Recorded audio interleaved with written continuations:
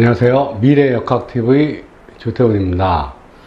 오늘 날씨가 매우 덥습니다. 오늘, 나, 오늘 날이 2021년 7월 17일 토요일입니다. 오늘 이제 말 그대로 이제 7월 말 8월 초 피, 그 피서의 peak time을 어, 목전에 두고 있는데 날씨가 매우 덥습니다. 또한 이렇게 그러다 보니 후덥지근한 불쾌지수도 많이 높아지고 이제 그런 상황이 같습니다. 오늘 제가 이제 아는 지인분들과 한 두 분 정도 전화 통화도 하고 이렇게 얘기를 나눴는데 상황이 어, 경제 상황이 환경이 너무 어렵다. 이제 굉장히 어려워지는 것 어, 같다. 그런 얘기들을 많이 들었습니다. 근데 저는 이제 예측학자로서 이렇게 보면 앞으로 점점 더 그러한 경제 환경이 어, 매우 더 좀 안 좋아질 것 같다 그런 생각을 많이 갖습니다. 저는 이제 에, 동양의 예측학자로서 그 예측학을 하고 있습니다.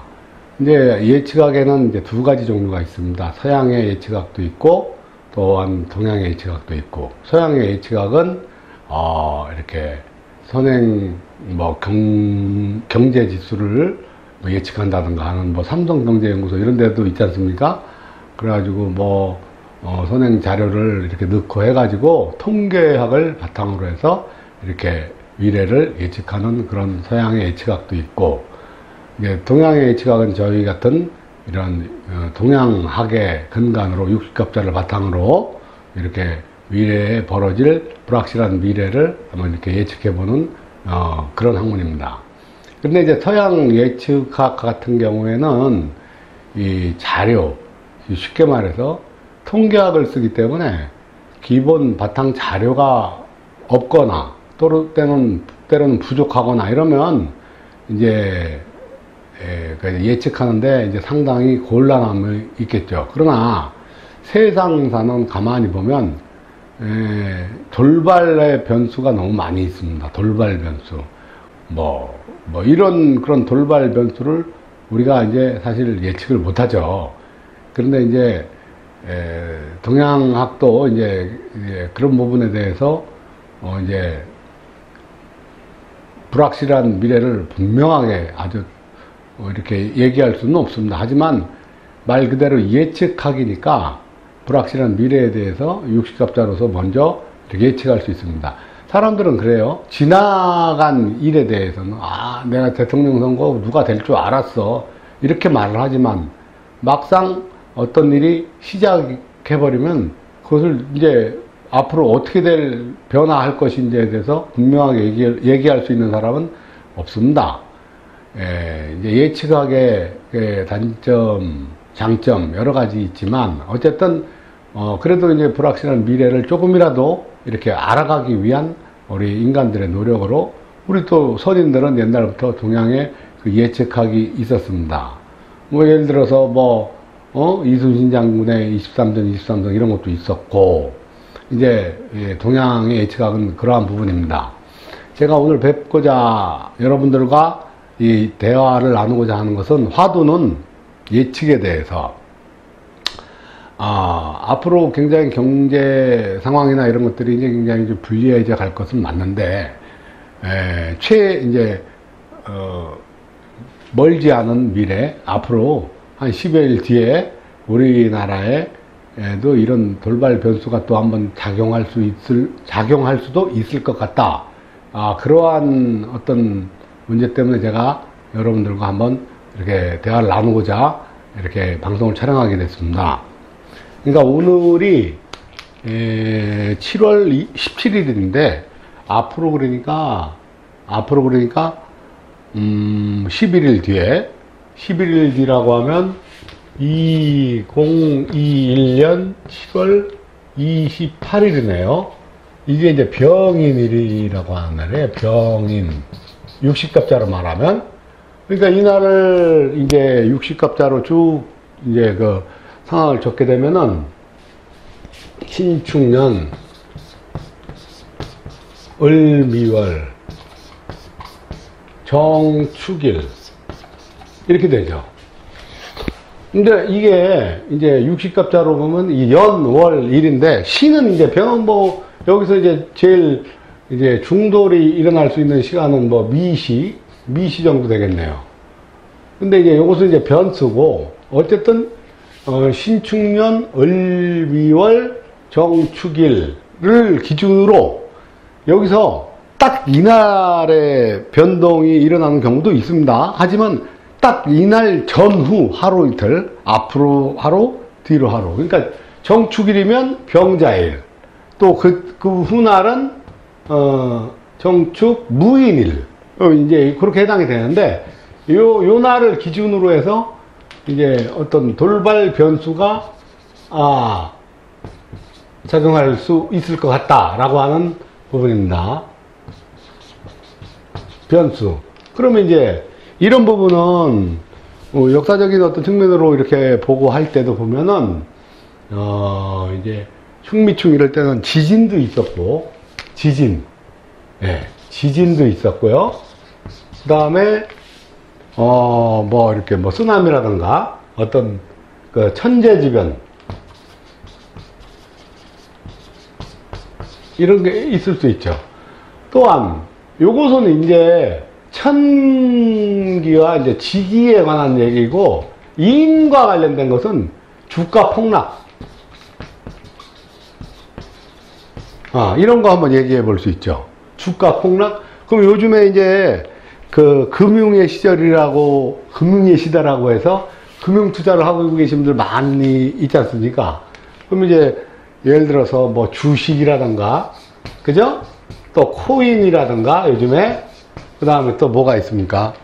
어, 주식이라든가 코인이라든가 뭐 해외 선물, 해외 선물, 뭐 이런 거 이제 전부 다 이제 투자와 관련된 그 금융 상품이죠. 근데 이런 부분에 큰 변동이 한번 날 수 있다. 이제 그러한 부분이거든요.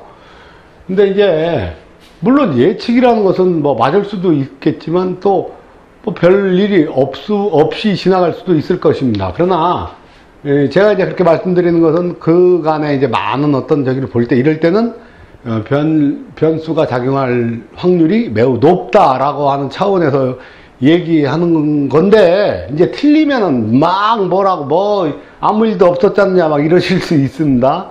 그런데 그래도 합니다, 저는. 왜냐하면 아는 부분은 얘기를 해야죠. 뭐, 설사 내가 틀릴 때 틀리더라도. 원래 예측하기라는 자체가 외줄 타는 일이지 않습니까?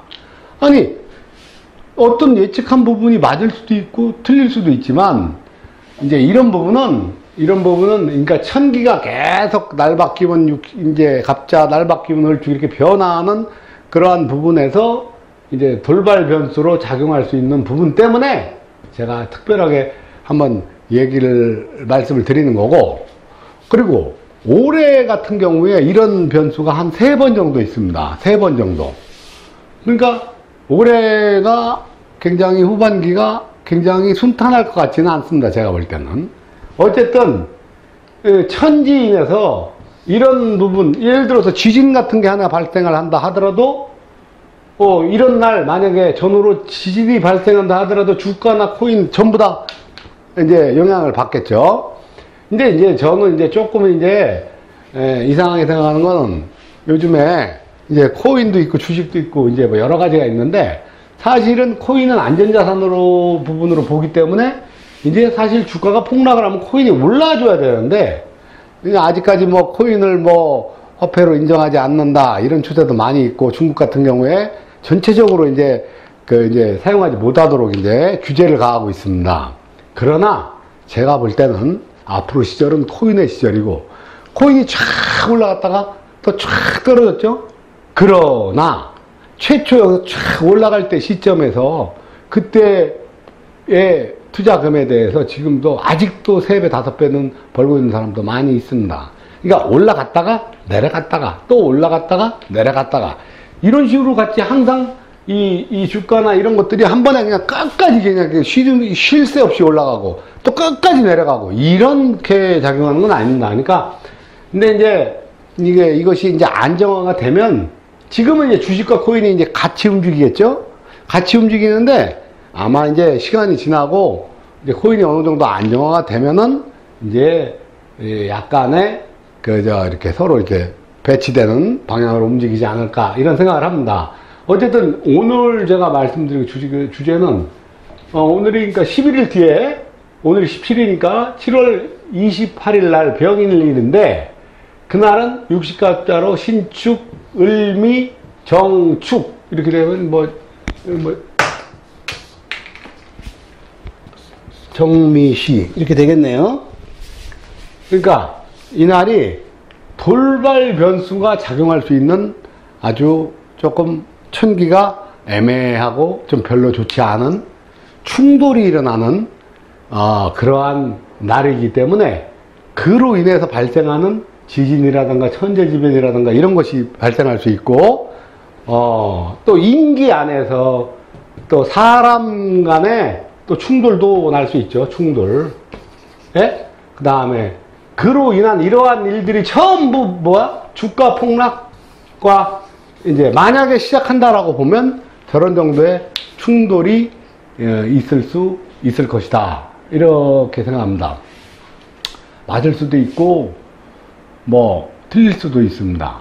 그런데 뭐 음, 많은 사람들이 있지만 많은 예측하고 많은 뭐 잘났다고 뭐 떠들고 뭐 이제 자기 학문 자랑하고 이러는 사람이 있지만 동양의 예측학도 또한 이런 부분은 독보적이죠 사실은. 그뭐 잘났다는 얘기가 아니고 어쨌든 저 같은 미친 생각을 하는 사람도 한 명은 있어야 된다. 이렇게 이런 차원에서 말씀을 드리고 있습니다. 자 감사합니다.